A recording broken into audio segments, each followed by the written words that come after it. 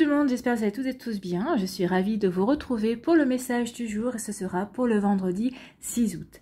N'oubliez pas qu'il s'agit d'énergie générale. Prenez uniquement les messages qui correspondent à ce que vous vivez. Prenez uniquement les messages qui vous parlent. Prenez uniquement les messages qui résonnent en vous. D'accord? Comme d'habitude, trois choix. Choix numéro 1, ici, c'est le cactus. Choix numéro 2, c'est le coquillage rose. Et choix numéro 3, c'est le piment.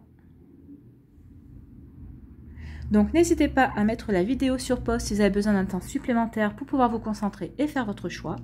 Et nous, nous allons aller voir tout de suite quels sont les messages pour le choix numéro 1. Alors, choix numéro 1, ici. Quels sont vos messages? Ici, on vous parle de fin de cycle. Donc on vous dit ici qu'il y a quelque chose qui se termine euh, dans votre vie, qui va prendre fin ou qui est en train de prendre fin. Alors c'est d'être une rupture, c'est d'être la fin d'une relation amoureuse, ça peut être aussi la fin d'un contrat. Euh, si vous avez terminé dans une société, c'est peut-être aussi la fin d'un CDD ou peut-être que c'est aussi la fin d'un contrat, peut-être parce que vous partez à la retraite également, hein. ça c'est aussi possible. Ou en tout cas, vous avez, c'est la fin d'un contrat parce que vous voulez vous réorienter aussi professionnellement, ça peut vous parler de ça aussi. Il y a peut-être une fin d'une relation amicale. En tout cas, ici, on parle de la fin d'un cycle. Il y a quelque chose qui se termine ou qui va prendre fin, ou qui est en train de prendre fin dans votre vie. Regardez, hein, vous êtes en train de vous dépouiller comme l'arbre, oui, euh, vous allez vous retrouver entre guillemets nu, mais en, tout cas, c'est pour mieux ensuite laisser euh, la vie vous faire briller, en tout cas. Hein. C'est comme la, c'est comme euh, ici, ce qu'on veut vous dire, c'est que vous êtes peut-être en train de vivre un petit hiver dans votre vie. Il y a peut-être quelque chose qui prend fin, oui. Et peut-être que vous avez l'impression d'être un petit, peut-être d'avoir froid. C'est une image. Hein. Euh, vous voyez comment ça peut vous parler. Mais en tout cas, on vous dit qu'ici, bientôt, le soleil va vous réchauffer et ce sera de nouveau le printemps. En fait, quelque chose qui se termine, c'est toujours pour donner naissance à quelque chose de nouveau. Donc ici, on vous dit qu'il va y avoir quelque chose de nouveau qui naîtra suite à cette fin de cycle, suite à cette fin, à cette, à cette euh, chose, euh, à cette relation ou à cet événement qui, euh, est marqué, qui se termine dans votre vie. Ici, on vous parle de lâcher prise. On vous dit oui qu'il faut lâcher prise par rapport à ça. Ne rentrez pas en résistance par rapport à ce, qui se termine dans votre vie. Pourquoi? Parce que plus vous allez rentrer en résistance, plus vous allez peut-être euh, éprouver du stress, peut-être de l'anxiété aussi. Euh, peut-être que vous allez éprouver de la peur, de la colère par rapport à quelque chose. Donc ici, on vous demande vraiment de vous recentrer sur vous-même, de vous recentrer sur vos propres énergies et de lâcher prise par rapport à ce qui se termine. On vous demande vraiment de ici de suivre le courant. Au contraire, d'accueillir ce changement, d'accueillir ces changements qui viennent dans votre vie et de suivre le mouvement de ces changements. Parce que plus vous allez rentrer en résistance par rapport aux changements, alors déjà, il faut savoir que les changements, quand ils surviennent dans votre vie, ben, vous ne pouvez pas lutter, aller contre. Hein. Au contraire, accueillez-les et vous verrez que la vie va vous porter, va vous amener vers de nouveaux horizons, vers peut-être des horizons que vous espériez, pour euh, certains d'entre vous. Pour d'autres, c'est peut-être des, horizons qui vont s'ouvrir. Il va y avoir peut-être de nouvelles opportunités aussi. Donc, on vous demande vraiment de lâcher prise par rapport à cette fin de cycle, par rapport à ces changements qui vont arriver dans votre vie, qui vont survenir. En tout cas, c'est des changements pour, euh, qui vont vous amener vers le meilleur. Hein. Et on vous dit, regardez, il y a le soleil qui brille. Donc oui, cette fin de cycle, euh, se termine. Il y a des choses qui vont se terminer, mais c'est pour mieux accueillir le changement. Vous allez accueillir la nouveauté et du changement dans votre vie. Donc lâchez prise par rapport à ça. Bah, lâchez prise par rapport à vos peurs aussi. Bah, souvent, lorsqu'on refuse le changement dans, sa vie, c'est parce qu'on a peur. On a peur justement de ce que ça va pouvoir entraîner, de ce que ça va pouvoir engendrer. Et finalement, bien souvent, on s'aperçoit que cette nouveauté, ce changement qui arrive dans notre vie, finalement, bah, c'est que pour notre bien, c'est que pour notre, euh, que pour le meilleur en fait. Hein. Alors des fois, je reconnais que selon comment euh, les choses se terminent, on ne s'en aperçoit pas tout de suite. Il nous faut un certain temps, peut-être des fois des semaines, des mois, pour s'apercevoir que finalement, c'est ce qui, euh, c'est ce qui était le mieux pour nous. Mais sachez que ici, ce qu'on vous dit ici, c'est d'accueillir le changement, lâcher prise, accepter et vous verrez que ça va vous emmener vers de nouvelles opportunités, vers de nouveaux horizons aussi. Euh, ça va vous ouvrir peut-être euh, aussi des, euh, des, nouvelles perspectives. Vous voyez comment ça peut vous parler. Mais en tout cas ici, oui, c'est très, très très positif. Et on vous dit en plus que vous serez accompagné par le soleil, donc ça va vous apporter ensuite, alors peut-être pas dans ce qui se termine, je ne sais pas ce qui se termine pour vous, si c'est une relation amoureuse, forcément vous n'avez peut-être pas forcément envie de rire maintenant, mais ce qu'on vous dit c'est que ensuite vous allez la vie va vous amener sur un chemin beaucoup plus lumineux, beaucoup plus solaire. Vous allez irradier, vous allez retrouver peut-être la joie de vivre, euh, vous allez euh, vous reconnecter à vous-même, vous allez comprendre en fait euh, quel chemin vous voulez emprunter par rapport à votre vie amoureuse ou autre. Vous voyez comme ça vous parle. Mais en tout cas, lâchez prise, accueillez ce changement, même si c'est ce que vous soyez ou non à l'initiative du changement qui arrive dans votre vie forcément, quand vous êtes à l'initiative, on accueille plus facilement le changement.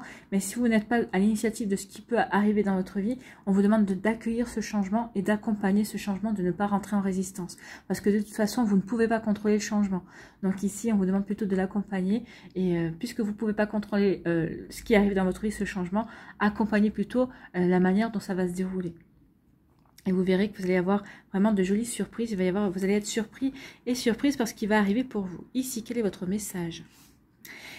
C'est euh, magie. Ben oui. Retrouver la beauté de la magie autour de toi. Retrouve la beauté de la magie autour de toi à travers les yeux d'un enfant innocent. Tu as le pouvoir de manifester tout ce que tu désires si tu vibres l'amour et la confiance. C'est ce qu'on vous demande ici c'est d'avoir confiance. Ayez confiance dans cette fin de cycle, ayez confiance dans, cette, dans ce qui se termine dans votre vie, ayez confiance dans ces changements qui vont survenir ou qui sont en train de survenir. Tout simplement, reconnectez-vous à la magie de la vie. Donc c'est vrai que ce qu'on veut vous dire ici, c'est que ces changements, vous ne les voyez pas encore peut-être, mais vont vous apporter de la magie dans votre vie, à condition que vous croyez justement et que vous vous émerveillez à ces nouveautés, que vous éveillez et que vous émerveillez de, ce que la vie peut vous apporter en tout cas. Donc ayez confiance, vibrez l'amour, vibrez la confiance et vous verrez que la vie va vous apporter ce que vous désirez ou peut-être et peut-être même plus. Peut-être même des choses que auxquelles vous ne pensiez pas. Et en tout cas, la vie va vous apporter ce qui est de bon et ce qui y a de meilleur pour vous. C'est plutôt un joli message pour vous qui avez fait le choix numéro 1. Alors forcément, les fins de cycle, comme je dis, hein, c'est pas toujours simple. Mais en tout cas, ici, euh, vous allez avoir les récompenses. On va vous apporter quelque chose de beau, quelque chose de qui va vous permettre de vous, émerveiller et qui va vous permettre aussi de, de reprendre confiance en vous et de vibrer. De vibrer l'amour, l'amour de la vie, l'amour de vous-même également. Voyez comment ça vous parle, voyez comment ça résonne en vous, vous voyez comment ça peut faire écho par rapport à ce que vous vivez à l'heure actuelle. Voilà, j'espère que ça vous aura aidé, j'espère que ça vous parle, j'espère que ça vous éclaire et surtout que ça va vous inspirer pour la suite de votre vendredi. N'hésitez pas à liker, à partager et à vous abonner à la chaîne si ce n'est pas encore fait. Je vous souhaite un très joli vendredi, prenez soin de vous, je vous embrasse et je vous dis à une prochaine vidéo. Bye bye. Ici, choix numéro 2 avec le coquillage, quels sont vos messages? Ici, on vous dit quoi? On vous parle d'évidence. Ici, on vous dit qu'il y a quelque chose qui est sous votre nez que vous ne voyez pas. Hein. Moi, c'est ça, on vous demande ici d'ouvrir les yeux. Euh, ouvrez les yeux par rapport à quelque chose qui se passe dans votre vie. Ouvrez les yeux, peut-être que euh, vous, avez, volontairement fermé les yeux alors par rapport à une personne, par rapport à des relations que vous pouvez avoir envers une personne, alors que ce soit euh, votre compagne ou votre compagnon, peut-être par rapport à une personne, une relation amicale ou peut-être à une relation familiale ou un collègue de travail ou une collègue de travail. Vous voyez comment ça résonne par rapport à ce que vous vivez. En tout cas, ici, on dit qu'il y a une évidence. Il y a quelque chose, il a une évidence dans votre vie. Peut-être que vous avez voulu fermer les yeux par rapport à ça. Peut-être que vous avez fermé les yeux par rapport à des sentiments qu'une personne pouvait éprouver pour vous c'est possible aussi, ou peut-être par rapport au fait qu'il y a une personne qui, euh, vous avez peut-être vu euh, cette personne euh, éprouver peut-être de la jalousie, euh, peut-être qu'elle elle émettait des commérages sur vous, mais vous avez voulu euh, fermer les yeux parce que vous vous n'aviez pas envie de, de, de, voir que cette personne finalement n'avait pas que des bons côtés. Euh, peut-être que c'est peut-être par rapport à un collègue de travail qui qui essaye aussi peut-être de, de, de, voler vos idées. En tout cas, voyez comment ça vous parle, voyez comment ça résonne. Et ici, on vous dit qu'il est temps d'ouvrir les yeux par rapport à une situation, par rapport à quelque chose qui est évident, qui est gros comme une maison. Enfin, c'est comme si on vous mettait un panneau sous les yeux et on vous dit maintenant il est temps que tu voyes. Parce que si vous ne voyez pas par rapport à une situation, peut-être que peut-être que c'est il temps d'ouvrir les yeux aussi sur le fait que par exemple votre travail ne vous convient plus non plus, qu'il est peut-être temps que vous changiez euh, peut-être de service. Peut-être qu'il est temps, peut-être que vous vous remettiez en question par rapport à ce que vous voulez faire exactement dans votre vie professionnelle. Peut-être qu'il est temps aussi que vous ouvriez les yeux par rapport à votre partenaire sentimental. On vous dit qu'il peut-être qu'il est plus bon ou qu'elle est, enfin, que cette relation elle, stagne, stagne et vous ne vous épanouissez plus non plus. En tout cas ici, on vous dit qu'il vraiment il est temps d'ouvrir les yeux par rapport à une situation. Vous voyez comment ça résonne par rapport à ce que vous vivez, par rapport à votre vie. Donc on vous dit pourquoi? On vous dit bah, il y a une rupture. Donc ici on vous dit qu'il y a une rupture. Alors c'est peut-être une rupture euh, sentimentale. C'est peut-être une rupture aussi, au niveau euh, professionnel, une rupture amicale, peut-être qu'il y a aussi une rupture euh, au niveau familial, peut-être avec quelqu'un, un membre de votre famille, mais en tout cas, on vous dit qu'il est temps de vous rendre compte maintenant. Euh, alors peut-être cette rupture, oui, ça va vous attrister, mais est-ce que cette rupture, finalement, ne va pas vous apporter un nouveau souffle? Ça dépend de quel domaine aussi, hein. euh, mais en tout cas, il, y a quelque chose, euh, on vous demande vraiment de couper. Alors peut-être qu'il y a aussi euh, des choses à couper par rapport à une relation, peut-être par rapport aussi à des énergies négatives, peut-être à une rupture aussi par rapport aussi à, par rapport à vous, hein, une manière que vous avez de fonctionner dans votre vie.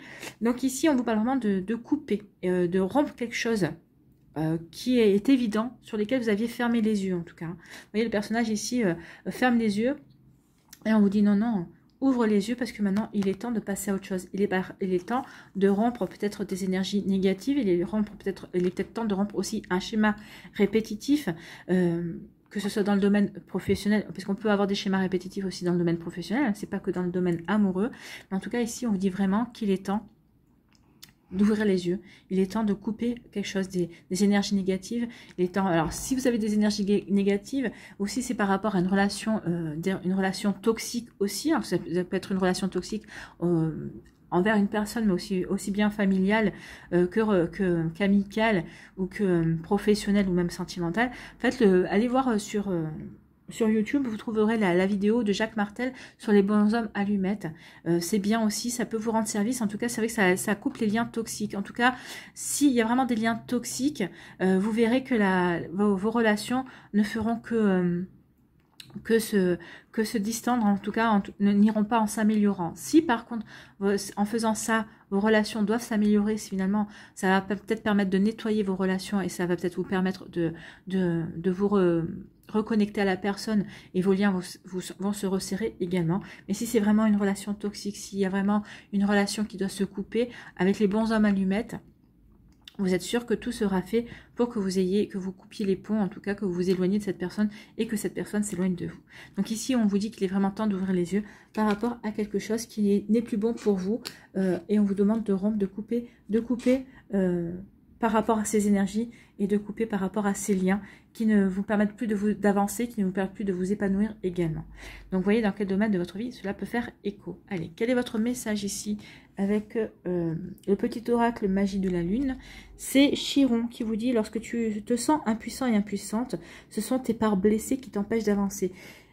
Oui, peut-être que vous, vous hésitez à, couper les ponts avec une personne parce que vous avez euh, peur euh, du rejet, peut-être que vous avez peur de vous retrouver seul, euh, peut-être que vous avez peur de, l'abandon aussi, peut-être que vous avez peur de l'humiliation, ça peut faire appel aux, blessures de l'âme aussi.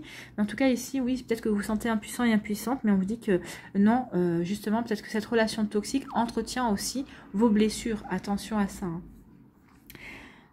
Donc, lorsque tu te sens impuissant ou impuissante, ce sont tes parts blessées qui t'empêchent d'avancer. Pars à leur rencontre afin de pouvoir les réunir en toi, les guérir et les libérer avec amour. Oui, donc ici, il y a un travail à entamer avec amour, avec amour de, vous-même, envers vous. Ici, c'est pour vous permettre d'avancer, d'évoluer, de progresser aussi par rapport à vos parts blessées. On vous dit d'essayer de, mettre un, euh, mot... Euh, le doigt déjà sur, sur ce qui est cette relation, ces choses euh, peuvent mettre en évidence en vous euh, qu'est-ce qui vous qu'est-ce qui vous blesse, euh, en quoi vous vous sentez blessé et comment pouvez-vous travailler justement pour pallier à cette blessure, pour justement ne plus la ressentir, ne plus répéter cette blessure au travers de vos relations ou au travers d'autres choses d'ailleurs. Donc voyez comment ça peut vous parler, voyez comment ça peut faire écho, mais en tout cas ici on vous dit qu'il est temps de libérer justement certaines choses, donc il est temps de rompre des schémas, rompre des liens qui ne vous conviennent plus, qui ne vous permettent plus de vous épanouir en tout cas. Vous voyez comme ça vous parle, comment ça fait écho dans votre vie. Voilà, j'espère que ça vous aura aidé, j'espère que ça vous parle, j'espère que ça vous éclaire et surtout que ça va vous inspirer pour la suite de votre vendredi. N'hésitez pas à liker, à partager et à vous abonner à la chaîne si ce n'est pas encore fait. Je vous souhaite un très joli vendredi. C'est pas simple comme, euh, euh, comme énergie, mais c'est pour aller mieux, c'est pour avancer aussi, c'est pour vous permettre de grandir et pour pouvoir accueillir de, de, la nouveauté dans votre vie également. Donc, n'hésitez pas euh, à vous abonner à la chaîne. Prenez soin de vous. Je vous embrasse et je vous souhaite un très joli vendredi. Bye bye. Ici, le choix numéro 3 avec le piment. Qu'est-ce qu'on vous dit? On vous parle de quoi? On parle du mois en cours. Donc ici, on dit qu'il y a quelque chose qui va se passer. Le mois en cours, ben, on vient de commencer euh, euh, le mois d'août. Donc il va y avoir un événement, il va y avoir des événements au mois d'août ici. Euh, donc, ça va se passer ce mois-ci. Donc, qu'est-ce qui va se passer ce mois-ci? On vous parle de réconciliation. Donc, la réconciliation, c'est soit vous allez vous réconcilier avec votre chéri, votre, votre amoureux, votre amoureuse. Peut-être que vous étiez en break, peut-être que ici vous étiez fâché, peut-être qu'il y avait des incompréhensions. Donc ici on parle en plus, regardez, hein, la carte, il y a quand même une dominance de bleu, de bleu, de jaune et de rose. Donc le bleu, on vous dit que vous allez peut-être parler de vos émotions, peut-être que vous allez communiquer vos émotions. Donc il va y avoir peut-être des explications. Ce sont des explications qui vont se faire dans la confiance parce que vous avez confiance en vous, vous avez confiance en votre amour pour cette personne et vous avez confiance dans ses sentiments envers vous. Et on vous dit surtout ici que si c'est par rapport aux sentiments amoureux, vous pouvez avoir confiance, vous allez communiquer. En tout cas, il va y avoir une réconciliation. Donc si vous étiez en froid, si vous étiez en dispute, il va, vous vous réconcilier avec la personne de votre cœur. Peut-être que vous avez un break aussi, euh, peut-être pour X ou Y raison. En tout cas, vous allez vous apercevoir qu'il y a de l'amour entre vous. Alors peut-être que le, le, problème euh, qu'il y a eu entre vous, c'est peut-être par rapport à votre couple, peut-être que ça a été des énergies extérieures, ça peut être euh, des personnes euh, euh, qui soi-disant sont des amis et qui ont été mal intentionnées par rapport à votre couple, ou c'est peut-être aussi des personnes de votre famille qui ont mis leur grain de sel alors, qu'elles n'auraient pas dû mettre leur grain de sel. Enfin, vous voyez, comme ça, en tout cas, on parle de réconciliation ici. Donc, premièrement, réconciliation sentimentale. Il peut y avoir aussi des réconciliations amicales, puisque vous étiez fâché par rapport à un projet, peut-être par rapport à une personne aussi, parce que vous étiez mis en compétition c'est possible, en tout cas, on vous dit que ça, vous allez euh, communiquer par rapport à ça et vous allez vous, réconcilier avec euh, votre ami. Euh, parce que vous aurez pu mettre les choses à plat, vous aurez vraiment réussi à vous expliquer. Il peut y avoir aussi des réconciliations au niveau familial. Peut-être que vous étiez fâché avec votre frère ou avec votre soeur ou avec un cousin ou, peut-être avec votre belle-mère ou vous voyez avec votre beau-père, votre beau-frère. Enfin, en tout cas, ici, il va y avoir aussi des réconciliations familiales. Mais aussi, quand on voit réconciliation, peut-être que la plus grande réconciliation qu'il pourra avoir ce mois-ci, c'est peut-être une réconciliation avec vous-même. Peut-être parce que vous aurez pris le temps, vous allez prendre le temps ce mois-ci euh, de prendre du recul par rapport à certaines choses, euh, de vous poser les bonnes questions et euh, peut-être de faire une mise au point de vous avec vous-même par rapport à votre vie. Voilà, j'en suis là aujourd'hui. J'ai accompli tout ça, ou en tout cas j'ai réalisé tout ça au niveau de ma, dans ma vie amoureuse, dans ma vie professionnelle bah finalement c'est pas si mal ce que j'ai fait jusqu'à présent. Donc ici vous allez vous réconcilier avec vous-même, vous allez euh, être bienveillant et bienveillante envers vous-même et vous allez comprendre tout le cheminement que vous avez euh, fait jusqu'à présent, jusqu'à ce que ce que vous allez faire passer ce bilan et vous allez vraiment vous réconcilier avec vous-même et vous allez vraiment euh, comprendre que vous vous kiffez, que vous vous aimez et vous allez vraiment vous apporter de l'amour, de la tendresse. Donc c'est pour ça qu'on parle de réconciliation aussi, c'est parce que vous allez vous apporter de l'amour et de la tendresse et vous allez être bienveillant et bienveillante avec vous. Alors si ça vous parle, hein, si vous avez besoin de vous, euh, de vous retrouver, de vous réconcilier avec vous-même, de vous pardonner. Hein. Parce que la réconciliation, ça parle de quoi? Bah, De pardon que vous vous pardonniez à vous-même, que vous pardonniez à votre autre, que vous pardonniez à un ami ou que vous pardonniez à un collègue de travail ou à, un membre de votre famille, ça parle de pardon. Alors le pardon ne veut pas dire oublier. Ce qu'il faut comprendre dans le pardon, c'est que c'est un cadeau que vous vous faites à vous-même. Le pardon, c'est un cadeau qu'on se fait à soi. Pourquoi? Parce que quand on est capable de se pardonner euh, par rapport à une situation, quand on n'est pas capable de pardonner à l'autre personne, c'est pas pour lui faire plaisir à cette personne, mais c'est pour vous, euh, pour vous euh, aller euh, changer d'énergie en fait. Hein, quand vous accordez un pardon, mais il faut que ce, pardon soit sincère. Hein. Il ne faut pas non plus dire bah, je vais pardonner parce que ok je lui accorde ce pardon parce que comme ça je vais changer d'énergie et je vais pouvoir passer à autre chose. Non, il faut vraiment que le pardon soit sincère, que vous compreniez que pour ce qui s'est passé, vous, que vous disiez bah oui je t'accorde ce pardon parce que j'ai compris que j'étais aussi co-responsable de ce qui s'était passé. Euh, donc j'ai compris, je te pardonne parce que tu n'es pas entièrement responsable. Donc je te pardonne, je me pardonne à moi aussi. Et c'est quand vous allez ressentir vraiment ces vibrations-là que vous allez pouvoir changer d'énergie et attirer autre chose. Et il faut vraiment, le pardon, il faut comprendre que le pardon sert vraiment à tourner la page définitivement. Une fois que vous avez, alors comme je dis, hein, pardonner ne veut pas dire oublier. C'est pas parce que vous pardonnez que vous allez oublier ce qu'on vous a fait, ce que vous avez vécu. Mais en tout cas, c'est pardonner, ça veut dire, bah, je suis prêt et prête à tourner ce chapitre de ma vie et je suis prête et prêt à commencer ce nouveau chapitre, à, commencer à écrire euh, quelque chose de nouveau sur cette page blanche, à inscrire quelque chose, les premiers mots sur cette, page, cette page blanche. Donc vraiment, la réconciliation, oui, ça accompagne du pardon. Donc vous allez pardonner, vous réconcilier ce mois-ci, que ce soit avec une personne, quel que soit le domaine, ou avec vous-même en tout cas. Ici, quel est votre message? Avec le petit oracle de la magie de la lune, ou le petit oracle magie de la lune c'est bah, justement la nouvelle lune. Oui, une nouvelle lune, c'est euh, la nouveauté, c'est du changement. Hein. L'heure est venue de t'ancrer dans l'instant présent et d'observer tes profondeurs avec bienveillance. Donc, je vous parlais de vous, de vous avec vous-même, de vous réconcilier avec vous-même. Oui, regardez vos profondeurs. Euh, soyez bienveillant et bienveillante envers vous-même. Aimez-vous. Comprenez euh, ce qui a pu se passer et pardonnez-vous.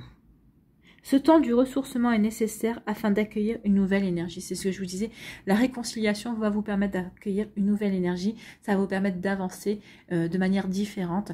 Et euh, ça va vous permettre de vous ouvrir à d'autres choses. Et en tout cas, la vie va vous ouvrir de nouvelles portes.